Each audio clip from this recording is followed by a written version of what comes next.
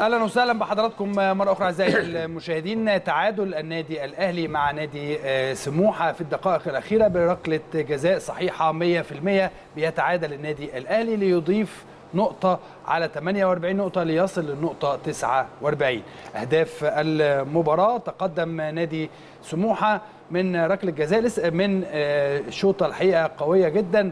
ولكن إحنا برضو هنتكلم كتير النهارده مع كابتن ناصر عباس على هذا الهدف ثم الفار يتدخل لاحتساب ركلة جزاء واضحة وصريحة 100% للنادي الأهلي ليتعادل عمرو السولية للنادي الأهلي ويخسر النادي الأهلي نقطتين ويتعادل مع نادي سموحة. كابتن فتحي كابتن شريف كابتن أسامة أعتقد تعادل يعني ممكن نقول عليه إيه؟ آه ممكن نقول خلاصة آه الأسبوعين اللي الأهلي لعبهم مع سان داون سواء داخل أو خارج هو ده رد الفعل اللي بان واللي إحنا قلنا عليه قبل كده وقلنا فترات الراحة وإن إحنا جايين وتغيير توقيت اللاعبين في آه المباريات. قلنا حاجات كتيرة الناس اللي بتحط الجداول لابد أن تراعي إن دول بشر إن اللعيبة دول بشر إن اللعيبة دول مش آلات مش إن أنا أحط جدول وخلاص هو عاوزه يمشي. مش هيمشي. طب ما هو أنت عندك بكرة تأجلت أربع ماتشات. ما تأجلت لأن في ظروف طارئة جات لك. يبقى في نفس الحكاية عندي ظروف طارئة للنادي الأهلي. إن النادي الأهلي لسه جاي يوم الاثنين ما لعبوش يوم الأربعاء. مفيش منطق يقول كده مفيش أصول تقول كده. أنا مش بتحجج لأن النادي الأهلي لكن تشعر إن النادي الأهلي مش مش مش قادر بعيد كل البعد عن إعداده النفسي وروحه الموجودة اللي هي بتأثر في أي فريق آخر. لكن أهل التسعين لا زال أهل التسعين إن هو بيلعب لغاية آخر دقيقة لغاية آخر ثانية. حتى لو ب 10 لاعبين. طرد له لعاب وبتلعب ب 10 وجات لك الفرص. وبعدين ما اقولش ان في فرص جات لسموحة طوال 90 دقيقة غير الكرة دي اللي اتشاطت للشناوي بنت بس يعني مفيش فرص ثانية مفيش امكانيات ثانية لكن أقول ان في فرقة مجهدة في فرقة مش قادرة تشيل رجلها مش بمزاجها. الظروف اللي حطتها في هذا الموقف ظروف الضغط العصبي للمباراتين غير الضغط البدني للي لعبوا هتقولي ما في لعيبة ما لعبوش بس مضغوطين عصبيا. الضغط العصبي ده مهم جدا إنه هيأثر على أداء اللاعبين سواء عفوا سواء في التمرير سواء في الاستقبال. لو نشوف الكورة مش قادرين نحتفظ بالكورة على الأقل 10 12 نقلة اللي هي لعب كرة القدم لعب النادي الأهلي سواء في التمرير تمرير مش مظبوط أو في الاستقبال استقبال مش مظبوط لأن الجهاز العصبي أكتر من لازم مضغوط. فحساسية لعب الكرة غير موجودة. بالإضافة إلى تحرك اللاعبين يا جماعة مفيش التحرك الجماعي اللي إحنا تعود عليه النادي الأهلي. برضه نتيجة الإجهاد. نتيجة إنك بتلعب في وقت غير الوقت اللي اتعودت عليه. نتيجة إن أنت ما نقولش اللعيب فلان أو كان المفروض يلعب فلان بدل فلان لا كل دي اجتهادات. لكن لما هتقابلك انت في البطولات كل الفرق انت عندك ليفربول ما في ماتشات بيخسر وبيتعادل. مش شرط ان أنا النادي الاهلي اكسب جميع المباريات ومش شرط ان أنا اتعلم مش أنا اتعلم اللي بيوضعوا الجداول يتعلموا انهم يحطوا جداول عشان يدي كل واحد حقه. التحكيم أنا مش هتكلم عليه لأن الكابتن ناصر موجود هنا مع الكابتن اسلام هيقولوا عليه لكن أنا بقول اللي حصل للنادي الاهلي نتيجة ل 10 أيام أو بالظبط 10 أيام سابقين لهذه المباراة. ودي النتيجة اللي إحنا شايفينها. فرقة مستريحة اللي هي فرقة سموحة بقى لها 10 أيام بيقدر يعد كويس. كابتن حمادة عدهم كويس نظمهم كويس لفرقة مستهلكة. مستهلكة إيه؟ مش بمزاجهم. ده مستهلكة بدنيا لا نفسيا. لأن الضغوط العصبية لبطولة إفريقية اللي يشعر بيها اللاعب ويشعر بيها المدرب. أما المشاهد مش هيحسها قوي فأنا بقول للسادة المشاهدين دي الضغوط العصبية أكتر من الضغوط البدنية. الضغوط العصبية الجهاز العصبي هو اللي بيسيطر على الجهاز العضلي هو اللي بيسيطر على إنك تمرر صح أو تستقبل صح. وده اللي كان في النادي الأهلي نقص النهارده لهذه الأسباب. طيب آه، كابتن شريف آه، النهارده المباراه الحقيقة الشوط الأول ال- الاهلي لم يكن جيدا لاسباب كثيره جدا ذكرها كابتن آه، فتحي آه، نصير. آه، وحتى مع الطرد الحقيقة طرد رامي ربيعه الاهلي أنا بشوف ان هو بعد الطرد افضل من قبل الطرد بكتير. هو ده الاهلي دايما بيبقى تحت الضغط تحت ال- الشكل اللي إحنا بنشوفه من كانت ضغوط من طرد من قرارات عكسية. من غيابات مؤثرة كمان في اللاعبين الحقيقة. يعني عندك أكتر من لاعب مؤثر في في الفريق. آه، اضطرينا إن إحنا نلاعب ناس مش في مكانها حتى. من إيقافات.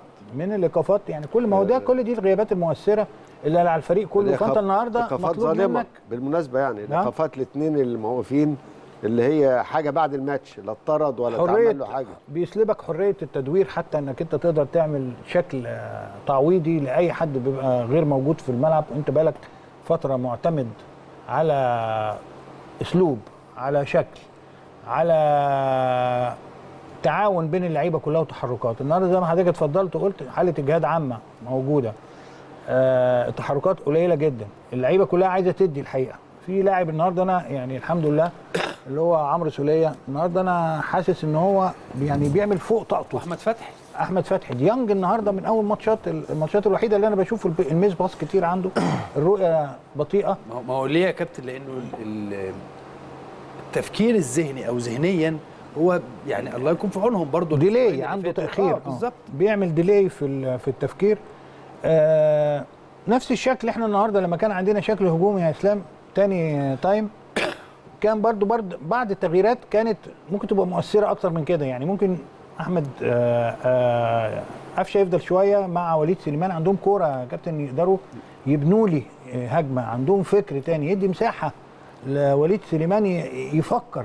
أعتقد إن آه بادجي كان ممكن ينزل مكان الشيخ ينشط الحتة دي مع التغييرة اللي عاملها الأخرانية بتاعت محمود وحيد. فكان هيبقى عندك ال back up عندك ال- الدفع. حتى وانت 10 زي إسلام بتقول عملنا الشكل اللي إحنا نقدر في أي وقت نجيب جول نقدر يعني نصوب 10 على الجول. ده كله كوم وإنك انت بتلعب مع ناس بتحكم الكرة. لاغي الفار أصلا. الراجل نسي إن في فار أصلا. ده بيدي handball بره ال 18 زي ما هو عايز يعني هو بيحكم زي ما هو عايز. الكرة عمرو السولية وهنشوفها مع بعد الفترة التحكيمية عندنا. كلنا شايفين راجل بيطلع الكرة والتاني والتاني قاعد بيتفرج على الماتش وجميل قوي الشوطة. حلوة قوي وجميلة جدا والراجل عملها هايلة. بس دي لو كرة سليمة ما لازم ناخد الفاول بتاعنا. إنما هو ما عندوش الاستعداد إن هو يدي لك. هو فرحان إن النادي الأهلي زي ما يكون شكله كده آه، النهارده يتعادل أو يتغلب أو أو هتبقى واقفة. لا يا جماعة ما ينفعش كده. اللي بيحصل ده ما ينفعش والله العظيم ثلاثة يعني إحنا لازم إحنا بنتفرج حتى نحس بال fair play بقى حتى مع الفار اللي طلبنا بيه. يعني لولا لولا الكوره دي يعني أنا ما أعرفش. يعني الراجل بص شايف الراجل ميت في الأرض ها وهو ملوش دعوة بيه. ما هو مش عنده است- استعداد إن هو يديله القرار حتى إن هو يديله حقه فيه أو يشوف إيه الفاول فين. أربع خمس كرات عكسية بيحسبها فاولات عكسية.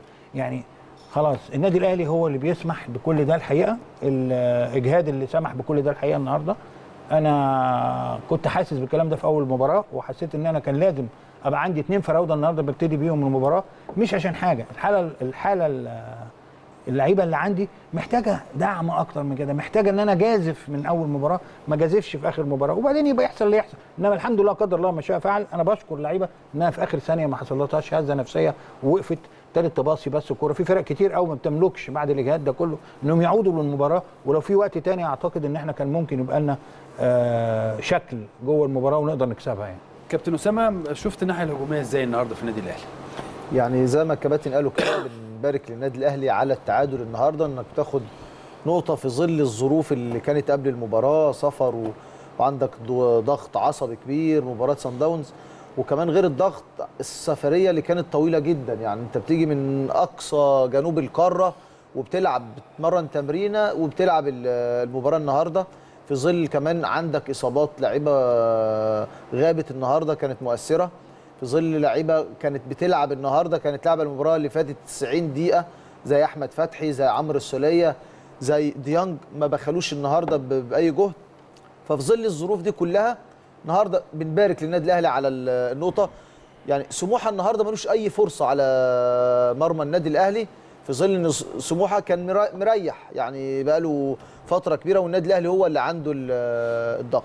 فأنت في ظل الظروف دي كلها بشكل دفاعي جيد على الأقل. هو ده اللي يعني الطريقة اللي لعب بيها. كان بيقفل الأطراف كله بيلعب على الكورة وبيلعب على المرتدات. حتى المرتدات ما شفناش النهارده غير الكورة الوحيدة اللي راحت لمحمد الشناوي. محمد الشناوي هي اللي كانت تسديده من بره. والكورة دي لو رجعنا ليها تاني واللقطة عند سمير عكاشه يا ريت يعيدها لنا ويجيبها لنا كمان في الإعادة. لو عندك يا سمير يا ريت تجيبها لنا في الإعادة. النهارده الكورة دي فيها فاول لصالح عمرو السولية بعد التسديدة. يعني أنا قبل التسديدة. قبل دي التسديده من أولها آه، خالص قبل من اولها أول- افتح كمان. لا دي دي مش دي من أول اللقطات يا أنا عايز لقطة الهدف لقطة الهدف في الإعادة. آه. لما يوصل ليها. حاضر.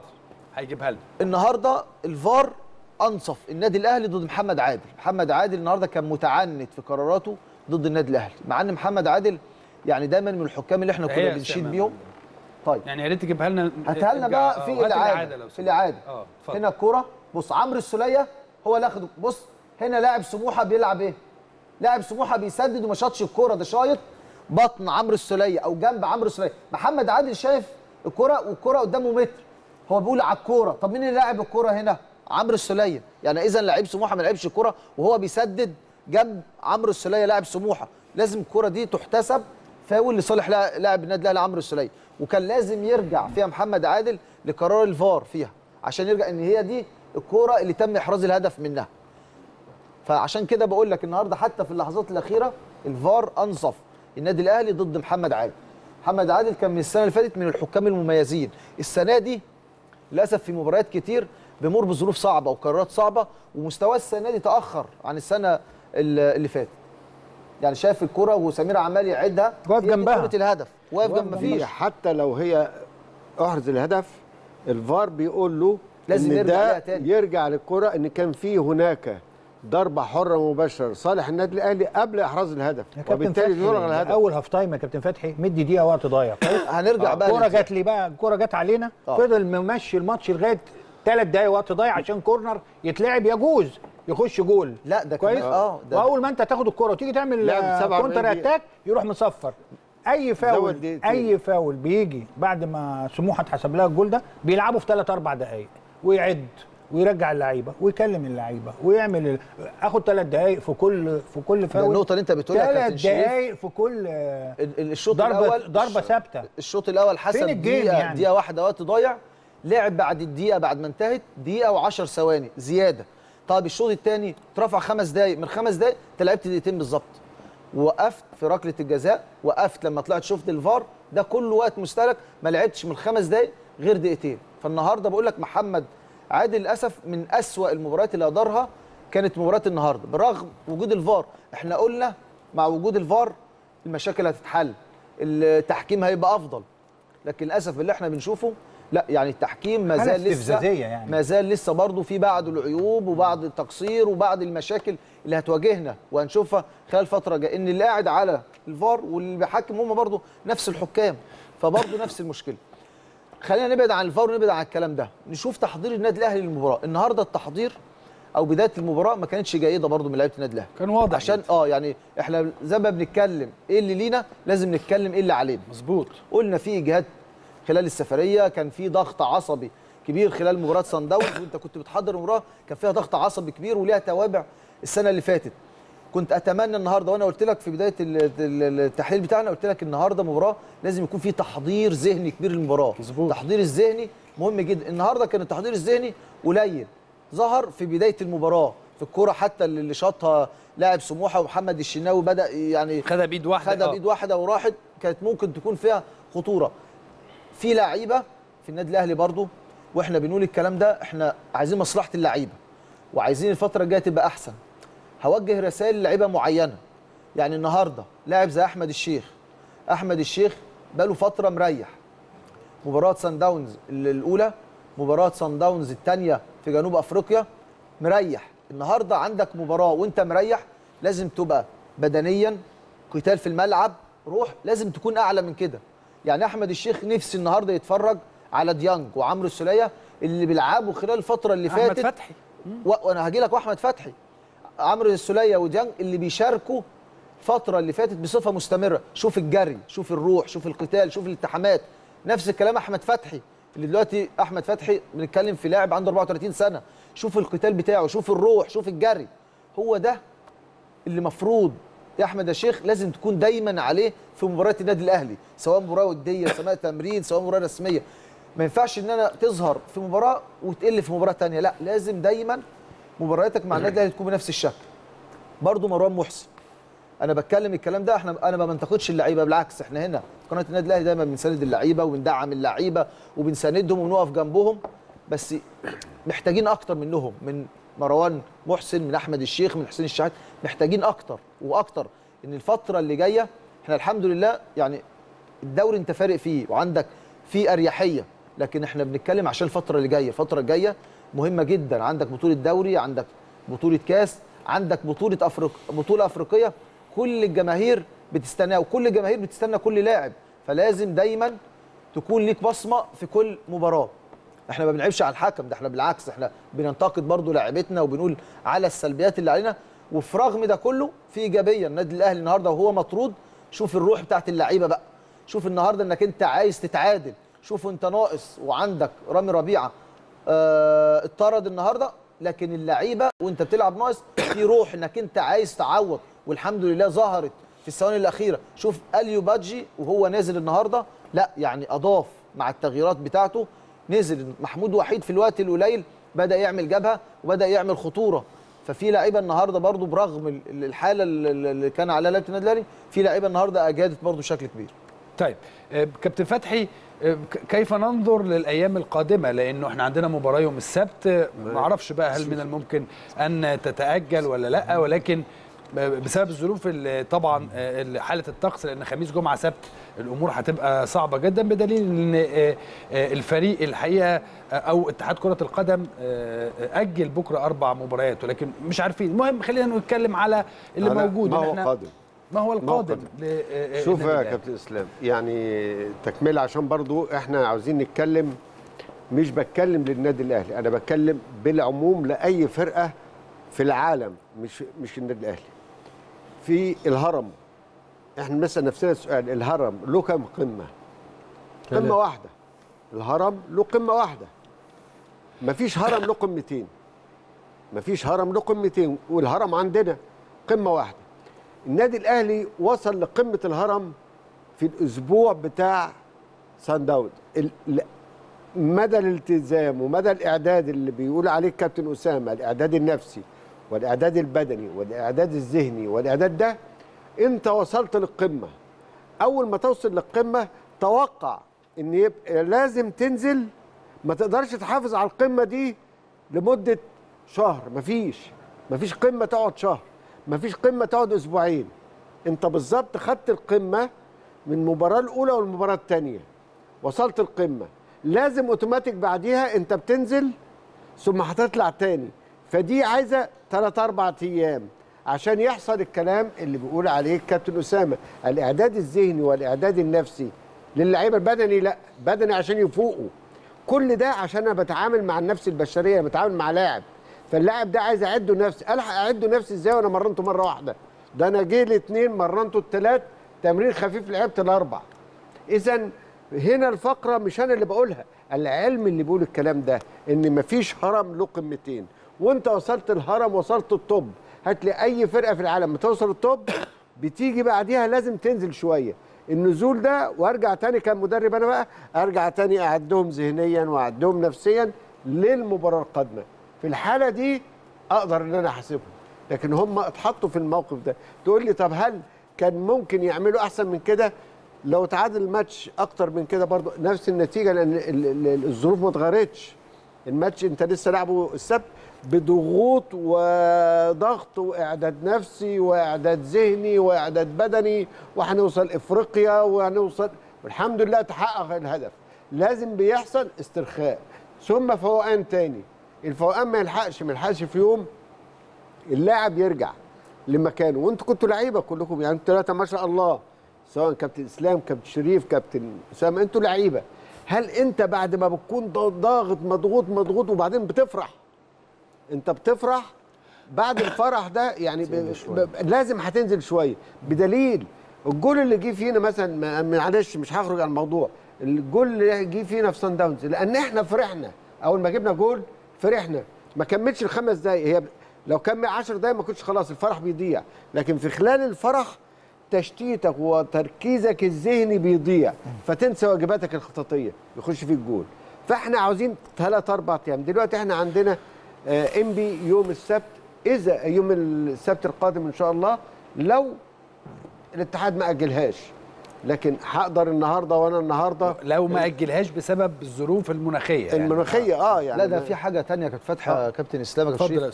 يعني النهارده هات لي لجنة مسابقات في العالم كله أنت بتلعب السبت وفي أقصى جنوب القارة تيجي عشان تلعب ده أنت الاربع بعد كده المحيط ما فيش بعد والفرقة اللي. بتلعب الجمعة سفر ساعتين أو ثلاث ساعات تيجي تلعب الخميس. هات لي لجنة مسابقات في العالم غير لجنة الجنايني والزناتي.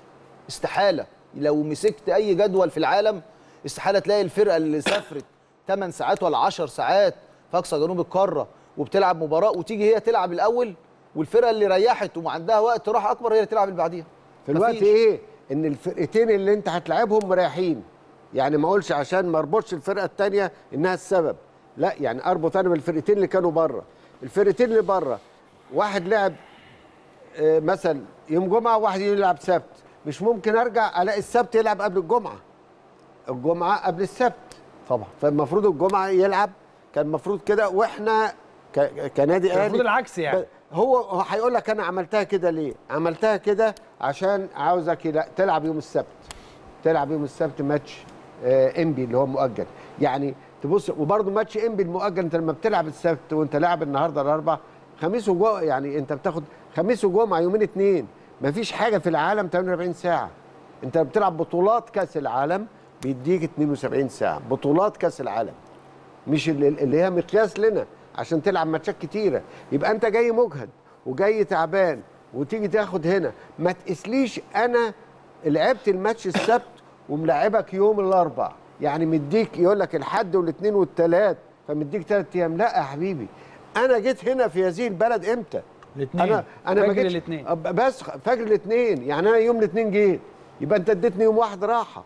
يعني هما بيحسبوها ما هو دورك للأسف اللي بيحسب لو هو واحد كورة سواء يعني مارس الكورة هيعرف إن مش موضوع ثلاث أيام أرقام. هم بيحطوا الجداول أرقام.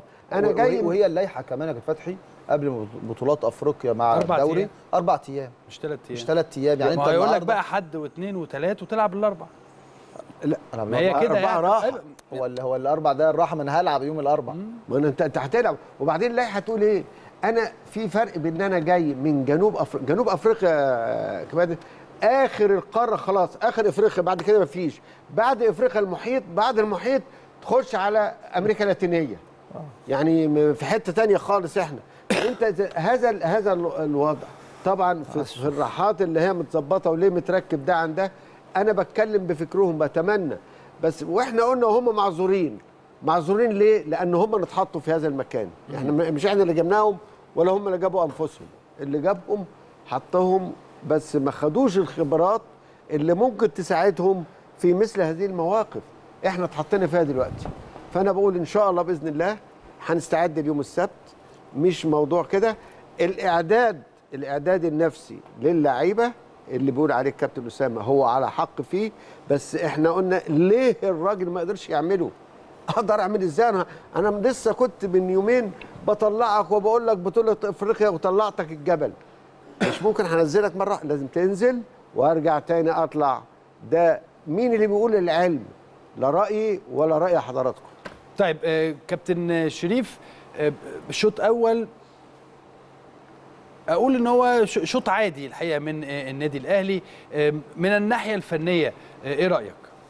الناحية الفنية أنا كنت بطلب قبل الماتش إن يبقى عندي أنياب هجوميه أيوة. حتى لو أنت إسلام بسالك السؤال ده عشان كده. آه أنا حتى لو أنت ما عندكش لعيبه النهارده تقدر تتحرك لبعض ويقدروا يعملوا المثلثات اللي إحنا كنا متعودين عليها اللي بين قفشة وديانج وسولية اللي هي كان بيبقى في الشكل اللي أنا بعمل ال1 2 الباص الباص التحضير كنت بتلاقي ال back left بتاعك هو ال wing left بتاعك فبتعمل له كوره عرضية فبيعمل عرضيات بزيادة عددية. أنا ما عنديش زيادة عددية النهارده موجودة خالص اول time حتى لما بتعمل كورة طويلة مفيش غير آه، مروان اللي واقف لوحده. لما بقى لك شكل باتنين فراوده وأنا وأنا بقول قبل الماتش ليه كنت عايز ألعب بالشكل ده؟ أجازف وألعب بالشكل ده ليه؟ أضحي بحد أنت ضحيت بيه تاني time من نص الملعب. أضحي بأحمد الشيخ مثلا ويبقى ديانج هو اللي موجود جنب عمرو. ويبقى إحنا بنلعب ب 4 3 2 كويس؟ هو ده الشكل اللي إحنا كنا عايزين نبقى بنوصل فيه. ليه؟ لأنك أنت لو الدنيا قفلت معاك إجهاد كده لازم نتكلم فنيات كورة بقى. هعمل أنا إيه؟ هحضر بكورة طويلة. الراجل ديانج ده بياخد كل الكور العالية لمروان وبيعملوا حالة بينهم وبين بعض تفتت التمركز اللي معمول من ال defender بتاع سموحة. يعني لا في defender هيهجم عليك وانت عندك اتنين فراوده وانت تعلم الكلام ده كله آه، أستاذنا الكبير. يعني عندنا اتنين موقفين خط بحاله.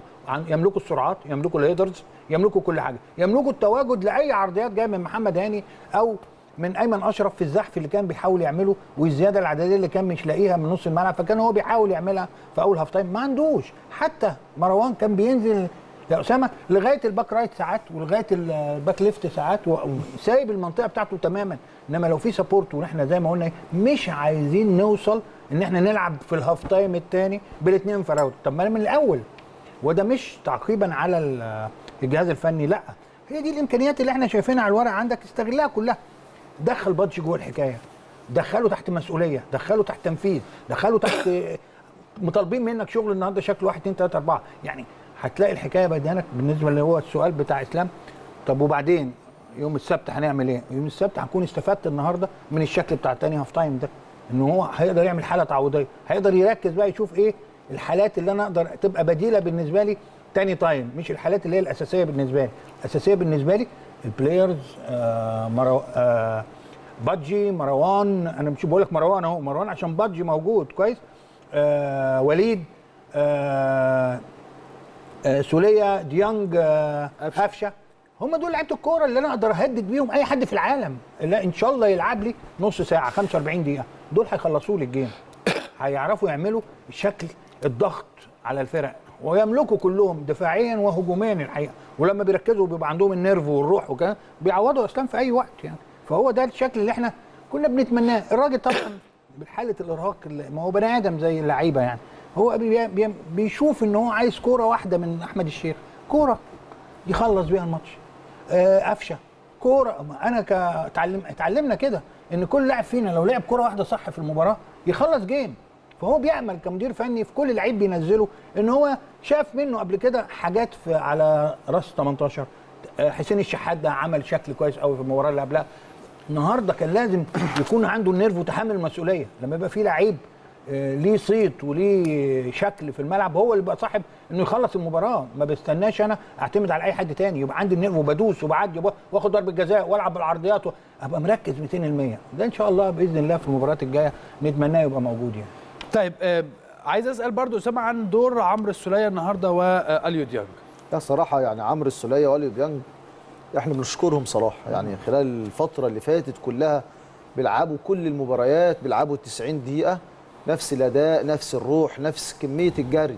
يعني النهاردة وإحنا قاعدين قلنا توقعنا إن عمرو السولية وديانج ممكن واحد يريح فيهم علشان بالظبط.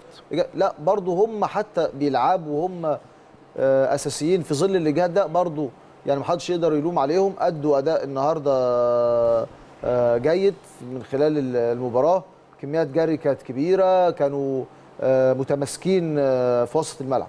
فلا النهارده عمرو السلايه وأليو ديانج نقدر نشيد بيهم النهارده.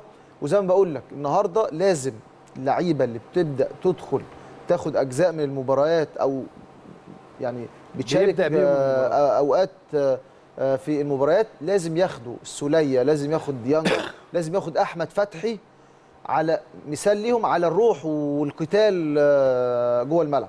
يعني عمرو السولية في الكورة زي ما بقول لك بتاعت الهدف اللي جابها سموحة كان واقف على 18 ومغطي في الكورة. وهي يعني آه، فاول صحيح للنادي الأهلي وهنشوفها مع كابتن ناصر عباس. شوف كمان الثبات بتاع عمرو السولية في ركلة الجزاء. يعني ركلة الجزاء اللي حسبها محمد. اللي حسبها محمد عادل غصب عنه.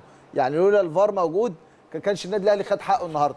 فبرضه يعني من إنجازات الفار مديها ضرب آه، hand ball. يعني هو شايفها. اللي, اللي, اللي, اللي أنا الإحساس اللي عندي هو واقف قدام الكورة. أنا مش عايز اقاطع ولا اسامه جوه؟ بس أنا اللي من يعني اللي عصبني أنت شايفها- شايفها؟ أنا كنت شايفها وجي قلت لك أنا إيه من جوه؟ الأول- قلت لك. إسلام جاي آه. إسلام. إسلام أكد لي إن من دي الأول. بينالتي من الأول. أنا ما يعني خدتش بالي منها خدت يعني بالك أنا لما لقيته بيحسبها. قلت الله بيحسبها على إيه أنا ما بصيتش إن هي فاول. أنا شايفها في الشوطه الاولانيه ركله جزاء لأن هو. آه لاعب نادي سموحه جوه ال 18 جوه يعني 18 ملهاش حل. مش محتاجة فار انت النهارده لو انت حتى كحكم عايش في المباراة و... وفي كل لعبة و... آه، بص بص آه. هنا قريب خلاص. مش بعيد. بص اللعيب فين بقى؟ مش محتاجة. لا وكمان زاويه. زاوية الرؤية بتاعته زاوية الرؤية بتاعت محمد عادل يعني- بص اسامه أنا. لما طالما بيديني- شايفها مسكت ده لما بيديني. لما بيديني بول فين؟ زي ما يكون بيجاملني دي الكلمة دي هموت وأنا قاعد بتفرج هو أنت أيوة. بتجاملني شوف أنت. بتجاملني إنك بتديني hand ball ولا إيه أنا مش فاهم يعني دي هي فين أصلا شوف مين اللي بيسدد الكورة يعني مين اللي. بيسدد الكورة عمرو السوليه. يعني عمرو السوليه هو كمان ال... لا النهارده عمرو السوليه لازم نشيد بيه صراحة على مجهوده وعلى ده بص عمرو السوليه هو؟ هو اللي مكمل وهو؟ اللي بيسدد والكرة رايحة في. الجون كمان يعني مش رايحة عالية مثلا الكرة في الجون كمان هدوءه وانت خلاص يعني في الثواني الأخيرة وجايه ركله جزاء برضو مش عايز تخسر. يعني آه طبعاً. على التعادل. فبرضو النهارده بتبين شخصية اللاعب واحد زي عمرو السوليه. لا عمرو السوليه وديانج النهارده يعني برضو لازم نشيد بيهم في ظل ال- ال- ال- المباراة النهارده اللي كان ممكن يكون فيه لعيبة النهارده كانت بعيدة عن مستواها لكن النهارده الاثنين أدوا أداء جيد. طيب آه، أخيرا كلمات أخيرة لحضراتكم قبل آه، ما نختم مع حضراتكم. كلمات يا كابتن إسلام طبعا آه، كنا نتمنى التمني شيء والواقع شيء ثاني أنت ما بتحبش تتعادل أصلا ولا آه يعني الاستوديو بتاعك. كلنا. كلنا آه بس هو خاصة يعني. آه آه، كنا نتمنى إن النهارده لكن الحمد لله إن النتيجة لا زالت إيه النادي الأهلي لم يخسر حتى الآن آه. في بطولة الدوري ودي حاجة. وإن إحنا طلعنا من هذه المباراة أنا بعتبرها. مباراة عصيبة جدا جدا جدا. مش عصيبة لأن إحنا ايا كان كل فرقة محترمة وكل حاجة بس ظروف فرقة النادي الأهلي بعد ما طلعوا الهرم صعب جدا تطلعهم الهرم تاني للقمة وأنت بتلعب في بطولتين وتديهم الدوافع تاني وتعد الإعداد النفسي اللي بيقول الكابتن سامي. لا ده من محتاج عايز لي ثلاث أربع أيام عشان أبدأ أعد اللعيبة وأغسل منهم الماضي وأحضرهم للي جاي. كل ده ما ينفعش في يوم عشان الناس عارف كده يا كابتن كمان النهارده بالنسبة لي أنا كمان أنا وأنا قاعد آه. بتفرج بالنسبة لي درس مهم جدا عارف في إيه يا كابتن آه. إن السنة اللي فاتت مباراة سان داونز اللي اتغلبنا فيها وخرجنا من المباراة الأولى يعني آه المباراة الأولى دي كانت نفس ظروف الماتش بتاع سموحة ده بمعنى إيه إن أنت كنت بتلعب لو فاكرين قبلها. كنا بنلعب لا مش قبلها اتحاد، كنا زمالك. بنلعب اتحاد زمالك اتحاد. قبلها وسافرنا وصلنا. قبل. البعثة تخيل حضرتك إن ده نفس الشكل بس في جنوب أفريقيا. آه. لا وت- لو تفتكر- يعني بص عارف ال- رجعت عارف لما رجعت لعبت مع مين؟ لعبت مع آه، مصر المقصه ريحت 48 ساعة علشان تلعب. مباراة صن داونز الثانية عشان تعوض. عشان تعوض. 48 ساعة. ما أنا بقول ما هو ده اللي أنا بقول لك عليه. لو تفتكر يعني سبحان الله يعني آه. لما تيجي تفتكر السنة اللي فاتت حصل إيه؟ ال... يعني بدل ما كنت بتلعب النهارده كنت بتلعب سموحة. السنة اللي فاتت كنت بتلعب سان داونز آه. آه، ماتشين كل 48 ساعة. 48 48 ساعة. سافرت قبل المباراة ب 48 ساعة. رحت اتغلبت رجعت لعبت مع المقاصة و... ونفس ضيف على. كده الأرض الثقيله اللي كانت موجودة في برج العرب كمان. في برج العرب المية. دلوقتي يا كابتن بقت علم. آه. الكرة بقت ثقافة. الكرة بقت ما بقتش إن إحنا سمك لبن تمر هندي أي حاجة وانزل والعب. حط ده مع ده. ما بنلعبش ينفعش. شطرنج. ما بنسوقش عربيات ولا بنسوق خيل ولا جم ولا جمال. دي كرة قدم. لازم يكون في الإحساس. اللي بنقوله دلوقتي كده أيوة. يشعر بيه المنظم وودي فرصة للمدرب. أنا لا حظ من المدرب ولا اللعيبة مهما قدروا يا كابتن إسلام مش هيعملوا أكتر من اللي عملوه. مش طبعا. قادرين. اللاعب مش الدواف أنت كنت لاعب. أنت خلاص. الجهاز العصبي مستهلك. طالما الجهاز العصبي عندك مستهلك خلاص. من الضغوط تمام. انسى إنك تطلب منه. باصة صح ولا استلام صح ولا شوطه صح. كابتن شريف أنا النهارده بس عايز آه، أقول على نقطة كويس قوي إنك أنت بتلعب ضد فرق كبيرة زي سموحة الحقيقة. فرقة كويسة جدا محترمة جدا النهارده. مدرب محترم النهارده قاري جيم كويس قوي إدى الإمكانيات كلها اللي عنده. فده لازم يتضاف في حالة إرهاقك أنت بتقابل كمان بتقابل فرق يعني فرق واقفة على رجليها. فرق تقدر تروح لجول فرق تقدر تعمل أي حاجة. ف يعني لعيبة سموحة النهارده كل التقدير ليهم.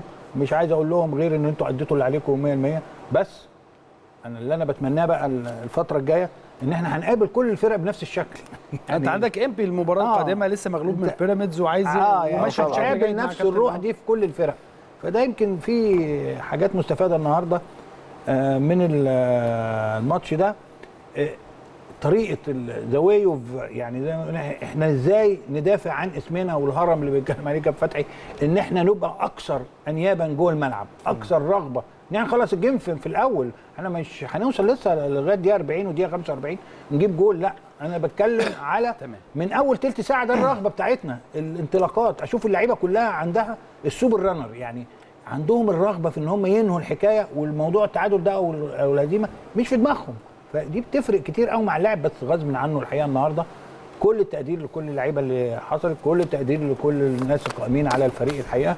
و hard luck إنك أنتوا النهارده ما حققتوش الثلاث نقاط في ظل كل اللي تعرضتوا له يعني. كابتن أسامة.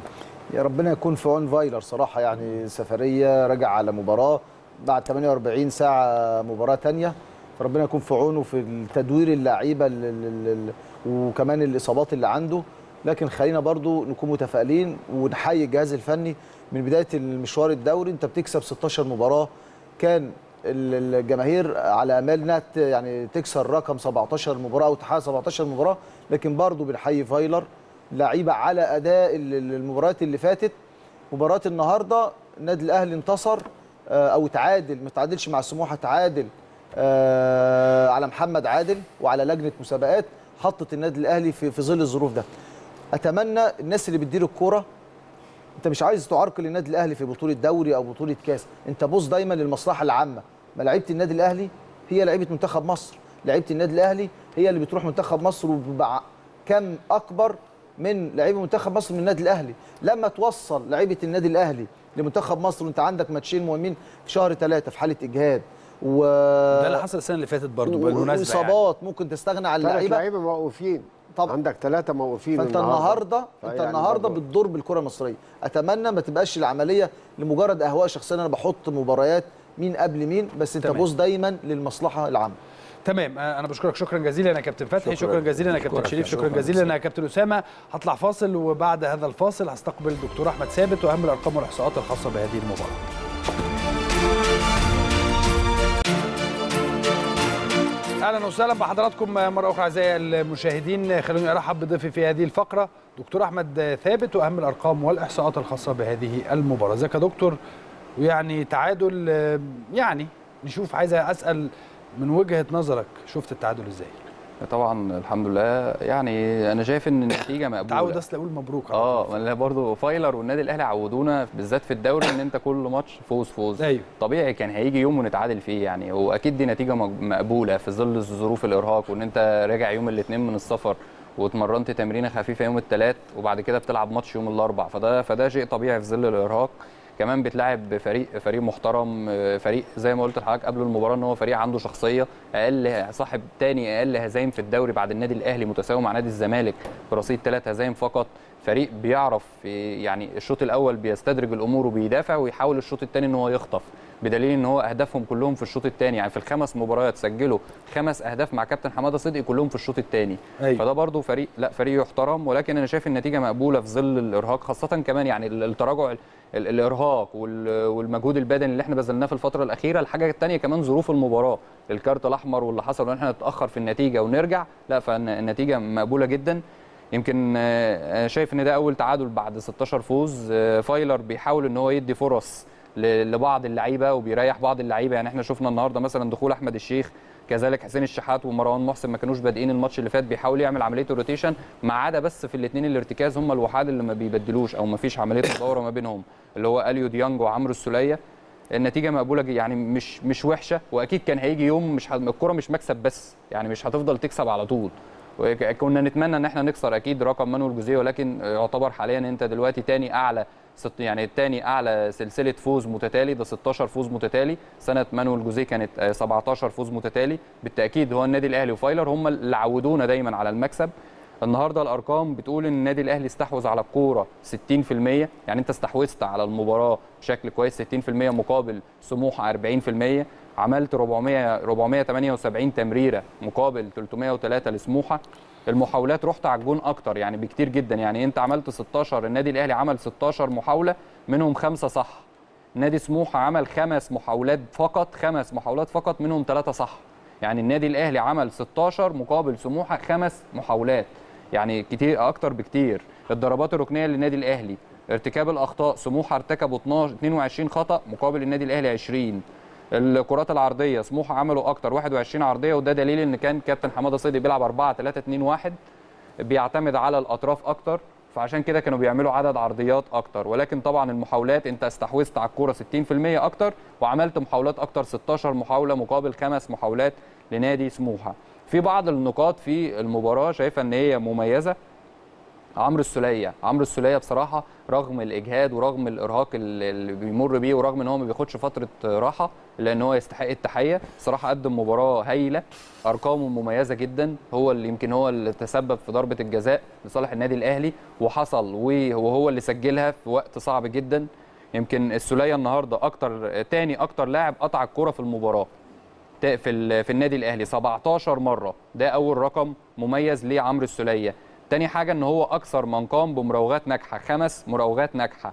تالت حاجة إن هو أكتر لاعب عمل تمريرات طولية في النادي الأهلي. 19 تمريرة طولية. وده كان دليل إن التكتل. فكان عمرو السولية دايما بي- بياخد يعني المبادرة وبيعمل تمريرات طولية أكتر. بتوصل ل 19 تمريرة طولية. فده رقم مميز جدا. وزي ما قلنا إن هو تاني أكتر لاعب قطع الكورة 17 مرة وفقد الكورة خمس مرات. عمل التمريرات ال- القصيرة 27 تمريرة صح من 29 ده رقم كويس جدا. كمان حصل أكتر واحد حصل على أخطاء. يعني يعتبر حصل على ثلاث أخطاء وتسبب في ركلة جزاء وحصل على ركلة جزاء. وكان ليه محاولتين على المرمى منهم واحدة صح. وبالتالي عمرو السولية قدم مباراة يعني جيدة جدا. في التوقيت كمان الهدف إن هو يشوط ضربة الجزاء في الوقت ده. عندنا برضو لعيبة مميزة في ضربات الجزاء. عمرو السولية واحد منهم. هو كان سجل برضو من اللعيبة اللي سجلت في مباراة السوبر. وبالتالي أنت بصراحة عمرو السولية يستحق التحية على الاداء في الفترة الأخيرة. وقدم مباراة ولا أروع كمان في مباراة سان داونز. يعني دي تاني مباراة عمرو السولية بيتفوق فيها بصراحة على اليو ديانج في الأرقام. عمرو السولية في الفترة الأخيرة تتويج لمجهوده النهارده. بيقدم أداء مميز جدا جدا جدا. ده بالنسبة للسوليه تاني واحد بصراحة صلي على الحبيب كده أحمد فتحي ب 100 لعيب أحمد فتحي بسم الله ما شاء الله تحطه باك يمين تلاقيه تحطه باك شمال تلاقيه تحطه مساك تلاقيه النهارده بيلعب مساك مرة في الشوط كل الفترة الأولانية كان بيلعب ناحية الشمال. ففي الشوط الثاني بدأ يروح ناحية اليمين لما مع ربيعة. بعد كده لما ربيعة اتطرد بقينا بنلعب ب 3 4 2 3 ورا. فكان أحمد فتحي بصراحة يعني عمل مباراة جيدة جدا. النهارده أحمد فتحي أكتر لاعب قطع الكورة في النادي الأهلي. 21 مرة قدامنا الأرقام على الشاشة. 21 مرة قلنا إن السوليه 17 مرة. أحمد فتحي 21 مرة.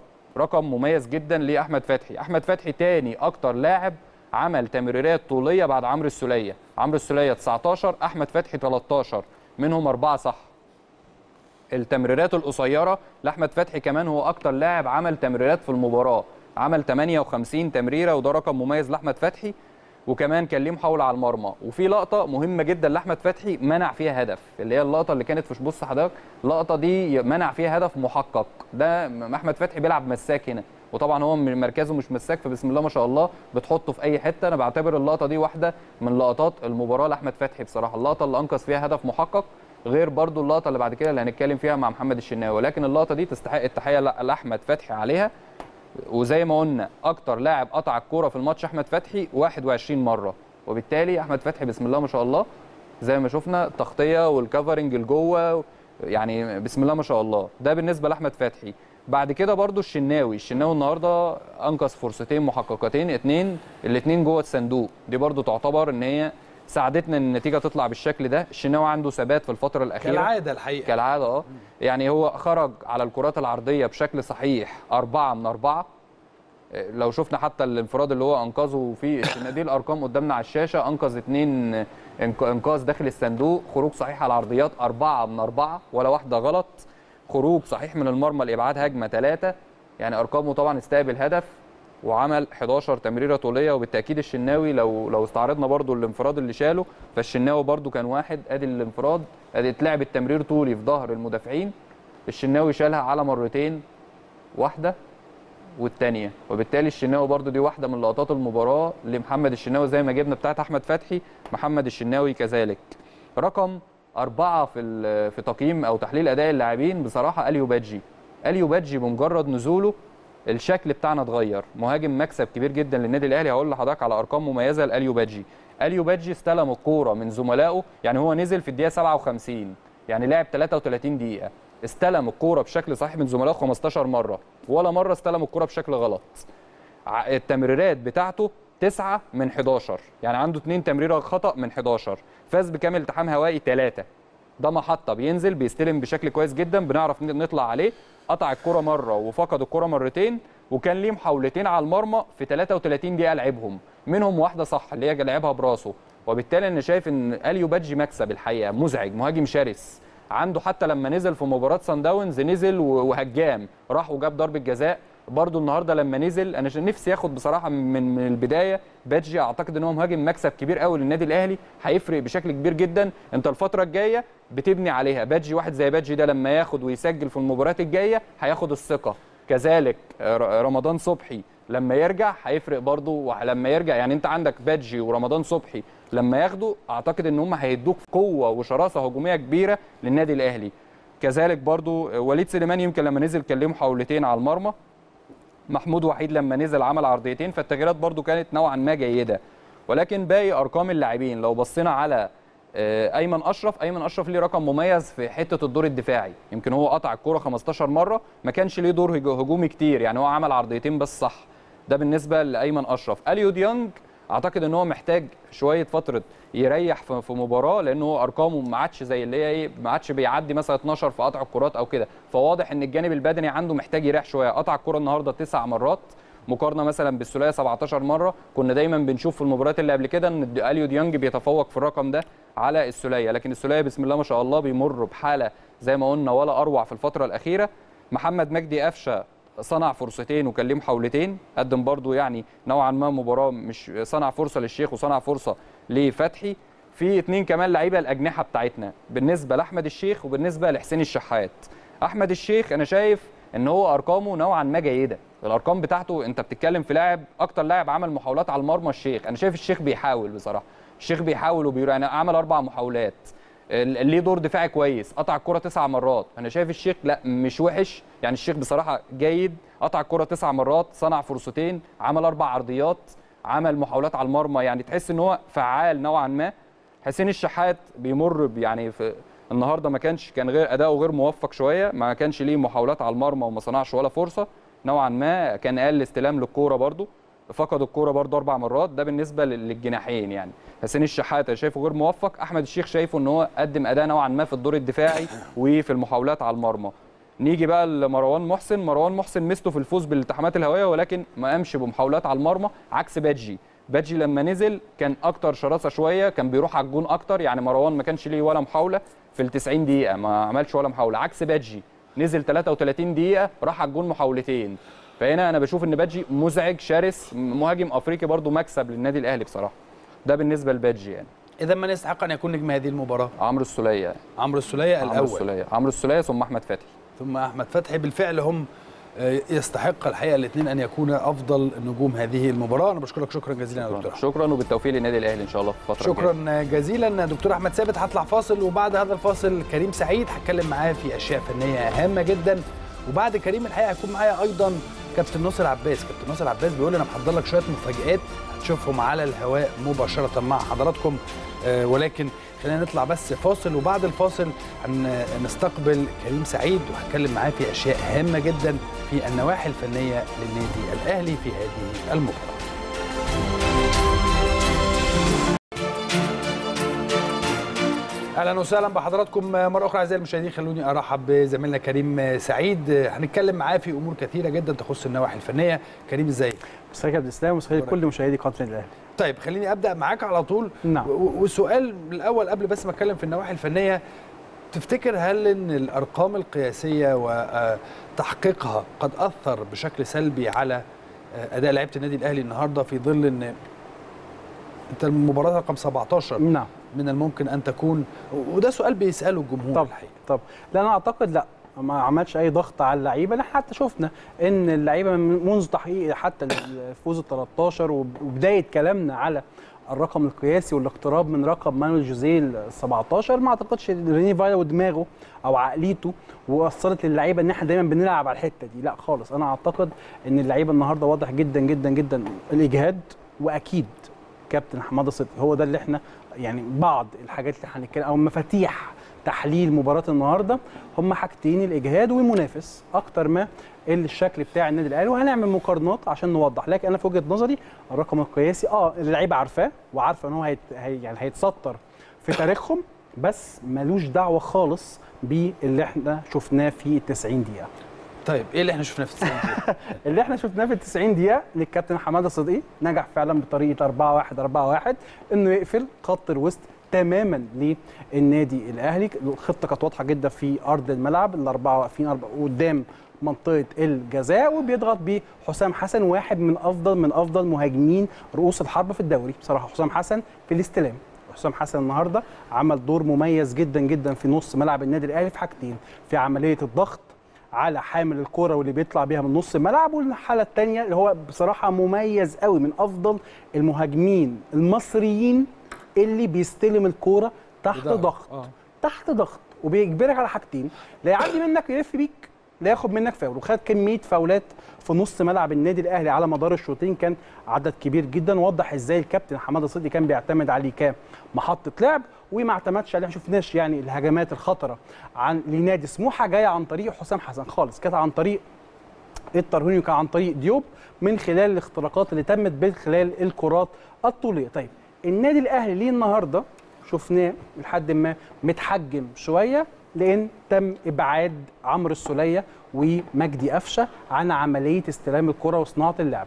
اول ما النادي الاهلي بيبعد عن الحته دي بتشوف النادي الاهلي على طول بيلجأ للكرات الطوليه وهنا إحنا مضطرين نعمل مقارنة بسيطة بين أفضل ماتش للنادي الأهلي كأداء في أرض الملعب من التمريرات وصناعة اللعب والنهارده. فانا جبت ماتش النادي الاهلي وطلائع الجيش. واحد من أحلى ماتشات النادي الاهلي السنة دي مع اختلاف طبعا المنافس. النادي الاهلي في ماتش طلائع الجيش. عشان نعرف هو لاعب على الأرض كتير ولا أجبر على مست... على أسلوب لعب المنافس هنبص على الكرات الطولية. وانس إن النادي الاهلي رجع للكرات الطولية قدام منافس محلي مش مش أفريقي. قدام منافس محلي. إحنا برضو بنتكلم مثلا ما أقدرش اقارن بين أندية مصر وصن داونز صن داونز اللعيبة مستواها الفردي مرتفع جدا. فلما نبص على رقم مهم جدا جدا وهو الكرات الطولية اللي عملها النادي الأهلي النهارده. النادي الأهلي النهارده عمل 59 كرة طولية قدام فريق محلي. هنا دي نقطة مهمة دي نقطة خطرة. بالظبط نفس الأمر اللي أجبرنا عليه الكابتن إيهاب جلال في ماتش النادي المصري.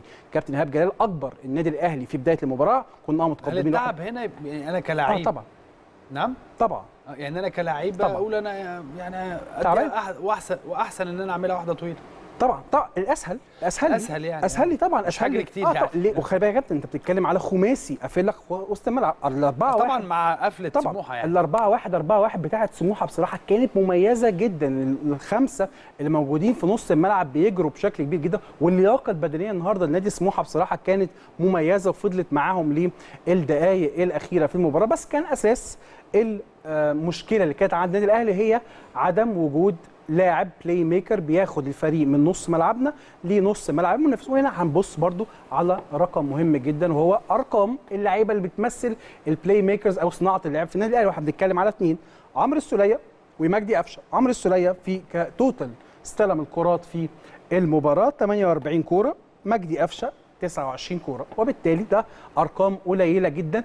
منها كمان جزء منها اتعمل في نص ملعب النادي الأهلي. يعني إذا احتسبنا إن في 10% من الكرات دي أو 20% حتى من الكرات دي تم استلامه في نص ملعب النادي الأهلي إحنا هنا بنقلل كمان من خطورة الفريق. وبالتالي شفنا إن نتج عن الشكل ده الشوط الأول أو قبل بالذات الدقيقة 60 النادي الأهلي ما قدرش يصنع فرص خطرة على مرمى الهاني سليمان سوى بالتسديدات البعيدة. فقط هي دي كانت الوسيلة الوحيدة لينا خلال ال 60 دقيقة. بدأ الأمر يتغير تماما مع نزول أليو بادجي لأن خطة اللعب اتغيرت. وانس خطة اللعب اتغيرت بدأت يعملوا الحركه اللي حضرتك قلتها إن اللاعب وهو بيفكر أنا النهارده كرة على على الأرض سهلة ولا ألعب الكرة الطولية ولا ألعب الكرة العرضيه ألعب الطولية ولا العرضي ليه؟ كل مطلوب مني في العرضي بمشي على الخط وأرمي ال cross وتبقى المسؤولية اتجهت للثنائي. الهجومي. بعد نزول بادجي بدأنا نشوف ها خطوره للنادي الاهلي حتى لو خطورة إلى حد ما جت في بعض ال- الحظ من الكرات العرضية اللي اتلعبت وخبطت في أليو بادجي وخبطت في أحمد الشيخ. okay هي حظ ولكن الخطورة الفعلية بدأت على مرمى هاني سليمان لما رينيه فايلر قرر إنه يغير خطته بدل ما يلعب بمهاجم واحد ويلعب باثنين رؤوس حربة. بس مع تكملة إن طبعا ما فيش صناعة لعب. إن أنت عشان تتحول إنك تلعب باثنين مهاجمين اضطريت إنك تطلع مجدي قفشه من الملعب واديت واجبات واضحه جدا لوليد سليمان. خليك على الطرف. في؟ ظل طرد كمان رامي ربيعة. ده بقى في الآخر بقى خالص. لكن في قصدي في الربع ساعة الأخيرة. لكن أنا بتكلم على التغيير. كان واضح جدا إن وليد سليمان مش نازل كبديل لمجدي قفشه ك playmaker وليد سليمان كان واخد الطرف لأن وليد مميز جدا جدا في عملية إرسال الكروسات وكان فايلر واضح إنه عايز يلعب أكبر عدد من الكرات العرضية لمروان وأليو بادجي عشان يقدر يستغل الدقائق الباقية. لكن أكيد إحراز سموحة الهدف والطرد اللي حضرتك تفضلت وقلت وقلته بس أنا عندي- غير الشكل أنا عندي هنا برضو سؤال هو آه، نعم النادي الأهلي من وجهة نظري كان أفضل كتير طبعا بعد طرد رامي ربيعة ما أعرفش ليه أقول أو لحضرتك بعد الطرد طبعا. يعني عشان مش طبعا. رامي ربيعة ولكن طبعا. أنا أقصد إن بعد الطرد نعم النادي الأهلي في الربع ساعة الأخيرة نعم عمل آه، أعتقد كرات عرضية يعني أنت ممكن تلاقي الأرقام عندك نعم. آه، عمل كرات عرضية وشاط أفضل على المرمى. بالعكس ده ضغط على نادي سموحة. ليه بقى؟ باستثناء كره أو كورتين يعني. نادي سموحة لما وجد نفسه إن هو متقدم في النتيجة اتفاجئ. اتفاجئ جدا ان أنا ما كانش محضر ان هو ممكن يتقدم في النتيجة. كان واضح جدا طريقة اللعب. أنا عايز ألعب على الكرات الطولية. نفس الطريقة بتاعت سان داونز. أنا هرمي الكرات الطولية ورا الاثنين الظاهرين اللي على الأطراف وأحاول لحد ما إن أنا أخلق الفرص بتاعتي من الشكل ده. الهدف طبعا اللي جه بعد تسديدة رائعة طبعا من ديوب بصراحة بحييه عليها. كرة حلوة قوي. واحدة من التسديدات اللي قلما بنشوفها في الدوري المصري. الفريق اتفاجئ وبدأ كل فكر اللعيبة. أنا عايز أحافظ على النتيجة. حتى رغم طرد رامي ربيعة وهنا جت نقطة مهمة جدا وهي شخصية لعيبة النادي الأهلي اللي إحنا بنتكلم عليها السنة دي بشكل مختلف عن السنوات. اللي فاتت الشخصية إن أنا حتى ورغم التأخر ورغم النقص العددي اللي أنا بمر بيه فايلر عمل تغييرة ممتازة إن أنا لعبت بالثلاثه مساكين وقفتهم بشكل إن أنا النهارده أحمي القلب بتاعي الأطراف فتحي وهاني. بالظبط كده هلاعبهم بلعب بشكل ثلاثة مساكين وأبدأ النهارده أشيل أحمد الشيخ وانزل محمود وحيد هو اللي اطيره وأبدأ النهارده أحاول اضغط عشان ما. أخرجش بالظبط ما أخرجش خسران وهنا الطريقة أو التفكيرة بتاعت فايلر كانت ممتازة شخصية اللعيبة في إن نضغط لعيبة سموحة رغم إن لعيبة سموحة أزل والمفروض حتى ساعتها كان لعيبة سموحة كل حاجة تفكر فيها إن النادي الأهلي في خط الوسط عنده ثغرة لأن أنت النهارده بتلعب ناقص في العدد. مجرد بس إن عمرو السوليه أو ديانج يضغط عليك امسك الكورة وحاول تتدرجها كتير أو تقعد بيه أو تطول في زمن. الملعب. بالظبط لكن هم ما قدروش يعملوا كده ليه؟ لأن لعيبة النادي الأهلي بدا النهارده يبقى فيه power جامد جدا في الضغط، لعيبة نادي سموحة كل همهم إن أنا عايز أحافظ على النتيجة، فكل العوامل دي تسببت في الشكل اللي إحنا شفناه والطريقة الوحيدة في وجهة نظري للتهديف للنادي الأهلي وهي الكرات العرضية أو ال second ball. ال second ball لو إحنا نشوف في نهاية المباراة كان اليو ديانج بيقدر ياخدها بشكل جيد. أيمن أشرف بصراحة لازم أشيد بيه جدا جدا جدا. في مسألة الضغط العرضي بمعنى نادي سموحة لما كان بيطفشوا الكرات العرضية النادي الأهلي كان بيطفشوها على العرض. وبالتالي أيمن أشرف كان بيخش دايما للعمق عشان يقدر يقطع الكرة ويحمي الهجمات المرتدة لنادي سموحة. وتاني دي بترجع برضو نقطة مهمة جدا لعيبة النادي الأهلي رغم كل الظروف السلبية اللي واجهوها في نهاية المباراة قدروا إن هم يرجعوا في التعادل وكانت طبعا بسببها التسديدات الخارجية اللي كانت ناتجة عن الكرة الثانية اللي إحنا اتكلمنا عليها. طيب آه، آه، أليو بادجي ومروان إحنا شفنا أليو بادجي برضو ما بيلعبش راس حربة راس حربة ولكن نعم طبعا بيجي نزل دايما. كتير طبعا. نعم. نزل. آه بينزل تحت كتير وهو اللي تقريبا كان نعم. بي بيستلم الكرة. أنا حسيت إن هو يعني بيلعب آه تسعة. تسعة؟ 10 10 10 أنا آسف أكتر منها تسعة. آه آه، راس حربة أو يعني آه، تحت الرؤوس حر... تحت راس حربة أكتر منها راس حربة. هو ده طبيعي ليه؟ لأن هو كان خلاص فاير اختار إن هو يتخلى عن صانع اللعب بتاعه وما يقدرش يطلب من عمرو السولية إن هو يتقدم ويلعب قدام اليو ديانج كواحد قدام واحد. دي مستحيلة دي خطرة جدا لأن once إن عمرو السولية هيضغط ويتضرب كده هيروح. على أقل تقدير اثنين لعيبة على اليو ديانج فبالتالي هتصنع فرص كتير أو هجمات مرتدة كتيرة. نادي سموحة. وبالتالي كان مجبر إن هو يسيب عمرو السولية على نفس ال line مع اليو ديانج وبالتالي هنا القرار عندي أنا مجبر إن أقول لأليو بادجي حاول تنزل أنت شوية عشان أنت سريع. أليو بادجي بصراحة عنده ميزة إن لما بينزل يستلم الكورة عنده نفس السرعة اللي بيقدر يرجع بيها لمنطقة الجزاء. مروان لحد ما الحتة دي مش عنده. ولكن أعتقد الشكل اللي إحنا شفناه بعد نزول اليو بادجي ربما هو كان هو ده الشكل اللي كنا نتمنى اللي يبدأ بيه. كان يبدأ بيه. ليه؟ أنت ربما أنت عارف إنك بتلعب مباراة خلال ثلاث أيام.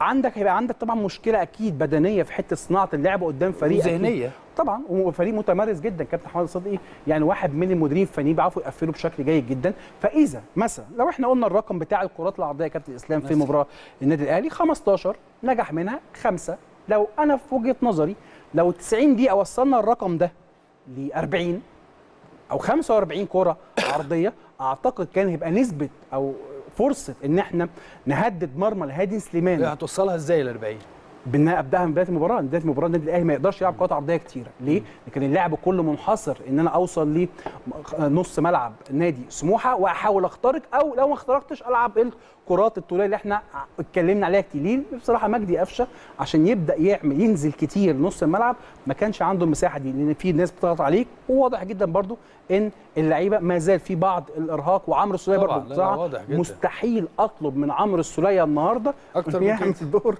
ال play لا، maker أحمد فتحي بالنسبة لي. النهاردة كمان أحمد فتحي آه. بصراحة عمل مباراة مميزة جدا بس إحنا ب... أنا بحاول يعني تبقى الناس فاهمة في نتيجة سلبية آه لكن إحنا بتوع رياضة ناس بتوع كورة عمرك ما تنتظر من اللعيبة إنها تديك نفس المستوى على مدار الموسم وكمان على آه، مسابقات مختلفة وكمان منافسين مختلفين. النهارده نادي سموحة بصراحة بدنيا في قمته ذهنيا في قمته. لاعب النهارده محمد طرهوني كان مميز جدا جدا في مسألة صناعة اللعب. هو محمد طلعت في النزول تحت حسام حسن. حسام حسن كل الكرات رائع. تقريبا بصراحة استلمها وخد منها كمان فاولات.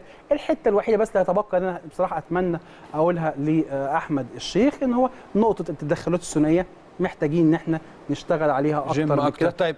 نعم اتفضل. آه طيب أخيرا بقى لو القادم سريعا جدا. طبعا عندنا مباراة نادي إنبي يوم السبت. كابتن حلمي طولان الشكل أعتقد بنسبة كبيرة هيبقى واضح. مشابه واضح. هيبقى مشابه للنهاردة مع نقطة وحيدة بس إن نادي انبي عنده محمد شريف لاعب نادي الأهلي السابق واحد من أسرع من أسرع اللعيبة في الدوري فاللعب على الكرات الطولية أكيد لازم من الجهاز الفني إن شاء الله آه. خلال الأيام الجاية ياخد باله من الحتة دي أنا بشكرك شكرا جزيلا كريم جدا على وجودك معانا وشكرا على. الشرح شكراً. جزيلاً. شكرا جزيلا كريم سعيد هطلع فاصل وهستقبل كابتن ناصر عباس نشوف إيه هي المفاجأة اللي عملها لي كابتن ناصر عباس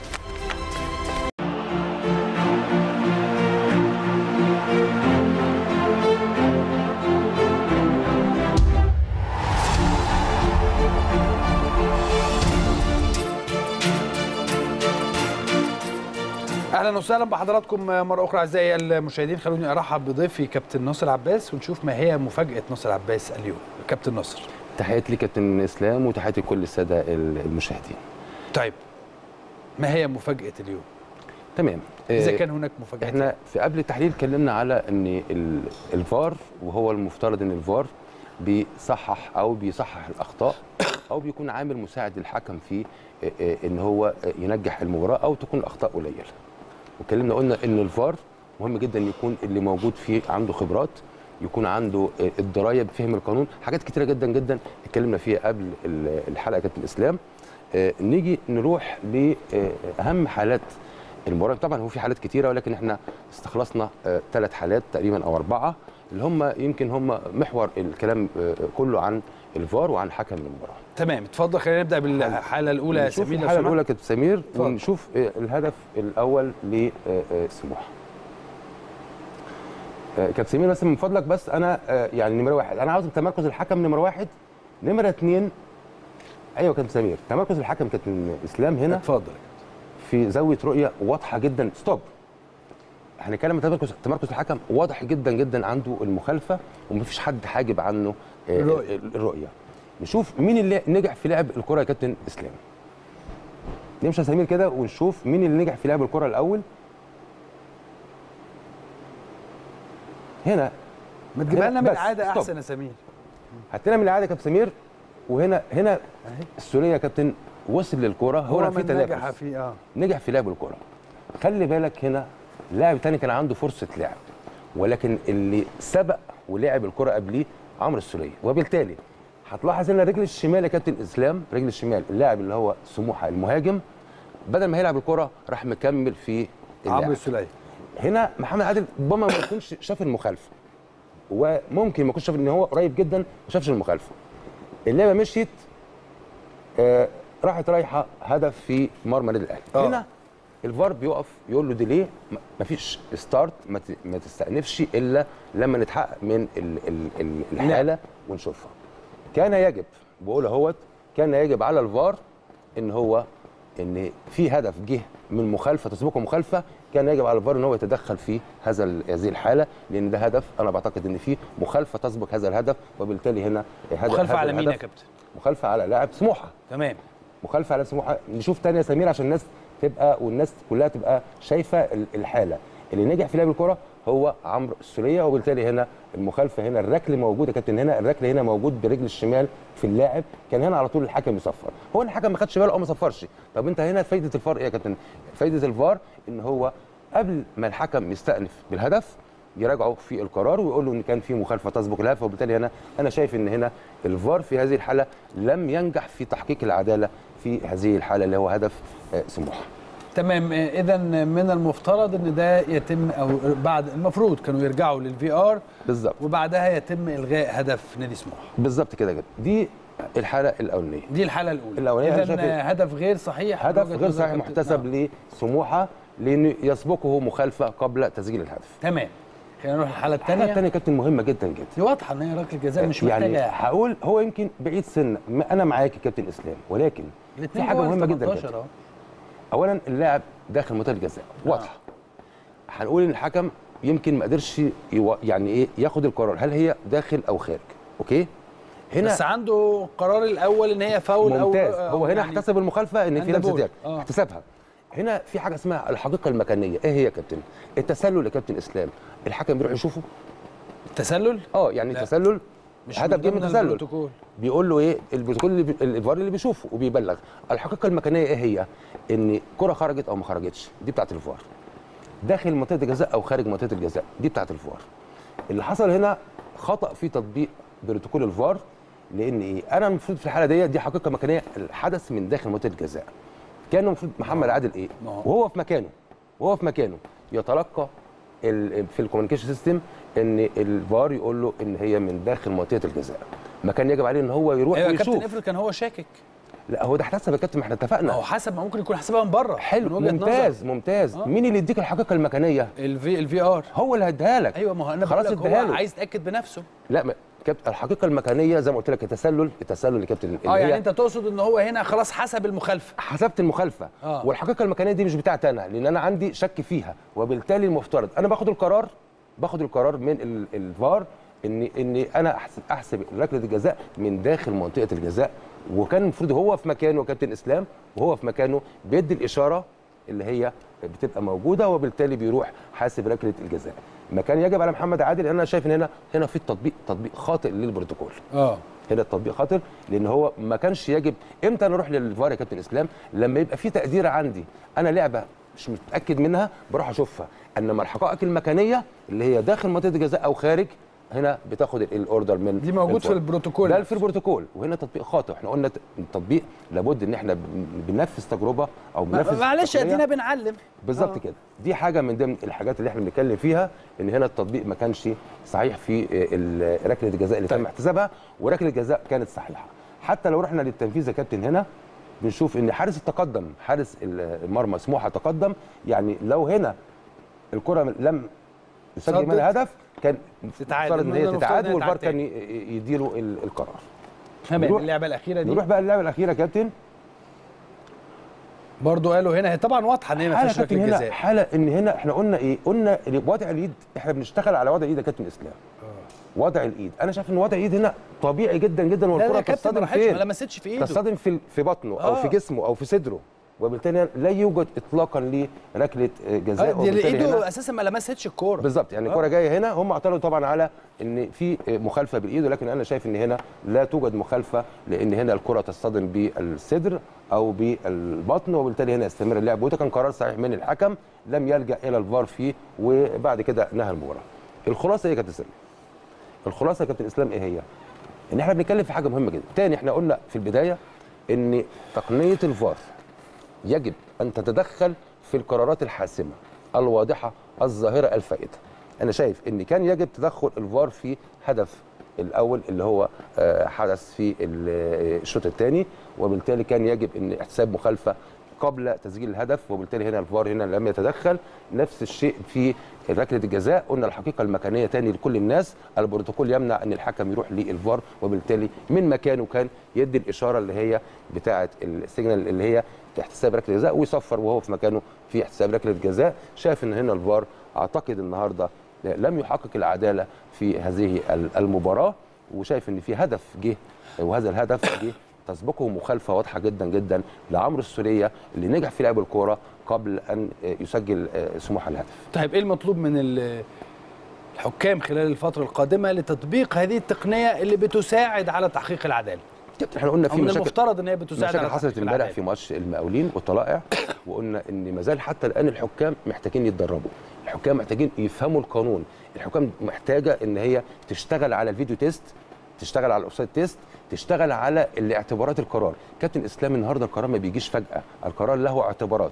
واعتبارات القرار ديت المفروض الحكم يبقى عارف كويس قوي قوي إمتى أحسب لمسة اليد وإمتى ما أحسبش لمسة يد. إمتى تتدخل بالقرار وإمتى الكلام ده كله محتاج تدريب كبير جدا جدا وكبير جدا سواء من حكم الساحة أو من حكام الفار لأن إحنا بنقول يا رب عندنا تقنية وحاجة جميلة جدا ولكن التطبيق ما زال حتى الآن أنا شايف التطبيق لم يرتقي للنجاح اللي إحنا كنا نأمله خاصة في الحالات الواضحة اللي إحنا شفناها كابتن اسلام عموما نتمنى أن يكون التطبيق خلال الأيام القادمة آه، أن يتم التطبيق بشكل جيد يا كابتن ناصر ونحاول على قد ما نقدر إن إحنا آه، نقول بعض الملاحظات الواضحة جدا لأن من المفترض أن تطبيق تقنية الفي ار لتحقيق أقصى عدالة ممكنة بالظبط. آه، بالظبط. آه، في كرة القدم. بالظبط كده. فنتمنى إن ده يحصل. إن شاء الله بإذن الله نتمنى إن شاء الله. وقلنا ده مش هيجي غير بالتدريب وبالجهد وبمشاهدة ال- ال video test وحاجات كتيرة جدا جدا يجب على الحكام إن هي تشتغل عليها في الفترة اللي جاية. آه، مطلوب من لجنة الحكام إن هم يكتروا شوية من ال- التدريب. ال- التدريب بالظبط. بالنسبة لحكام الفي ار بالظبط. مظبوط؟ إن شاء الله. نتمنى إن ده يحصل. أنا بشكرك. شكرا جزيلا يا كابتن ناصر. شكرا جزيلا كابتن ناصر عباس. وبالتالي انتهى يومنا النهارده. انتهت مباراة النادي الأهلي في أول تعادل بعد 16 مباراة. فوز بيتعادل النادي الأهلي مع نادي آه، سموحة بهدف لكل آه، فريق. في الدقائق الأخيرة من ركلة جزاء صحيحة 100% والفار انصف النادي الاهلي في آخر المباراة الحقيقة ولكن لو على كلام الكابتن ناصر من الممكن أن تكون هناك أو من الواضح أن هناك بعض المخالفات أو مخالفة واضحة أثرت على على نتيجة المباراة. ولكن آه، نتمنى أن إحنا نشوف أفضل من كده خلال الفترة القادمة. أنا بشكر حضراتكم شكرا آه، جزيلا. إن شاء الله هكون آه، مع حضراتكم في ملعب الأهلي خلال الأيام القادمة. أشكركم. إن شاء الله ألتقي مع حضراتكم قريبا.